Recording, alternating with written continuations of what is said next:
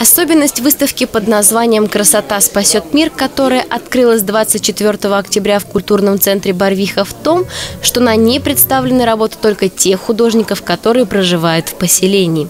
На открытии можно было не только познакомиться с творчеством талантливых людей, но и пообщаться с авторами работ. Художников э, мы выбирали из расчета того, что они являются местными э, да, жителями.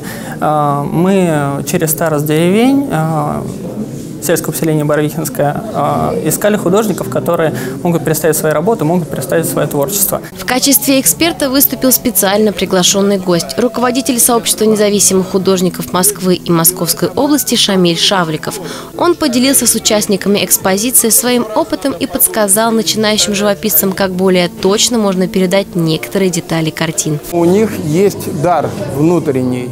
Художник состоит из двух частей – это внутренний порыв и внутреннее богатство человека, которое он черпает от книг, от природы, от просмотра каких-то фильмов, э, прочитанных книг.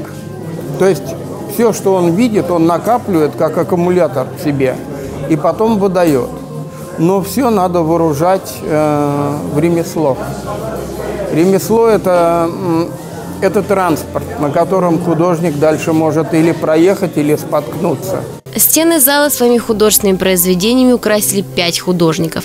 В их числе оказалась и Инна Прохорова, которая представила восемь работ. Она совсем недавно начала рисовать, но своим творчеством привлекла большое внимание приглашенных экспертов. Я а, пишу от души, то есть вот то, что я чувствую в этот момент, то, что я, те эмоции, которые во мне есть, я их передаю на холст. То есть как дышишь, так и пишешь. Что чувствуешь, то и пишешь. То есть я в картинах передаю те чувства, которые я чувствую в этот момент. Приобщение к прекрасному на этом не закончилось. После выставки всех ожидала насыщенная концертная программа, приуроченная ко дню рождения творческого коллектива «Барвиха Дэнс».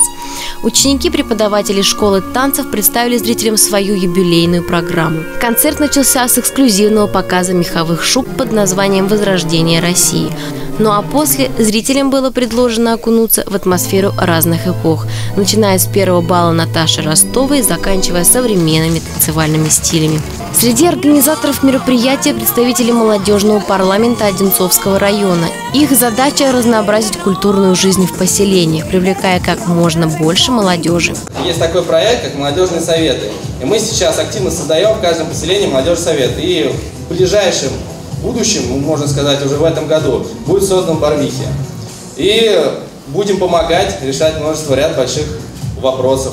Жители поселения Барвихинское уверены в том, что такие культурные мероприятия станут традиционными и выйдут на более высокий уровень. Дарья Сутягина, Леонид Бурдин, телекомпания «Одинцова».